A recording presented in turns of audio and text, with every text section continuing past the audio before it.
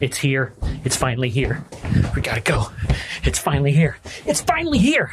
It's finally tabs in File Explorer. If you are up to date on Windows 11, you can open File Explorer and now open multiple tabs in the same window. It's here.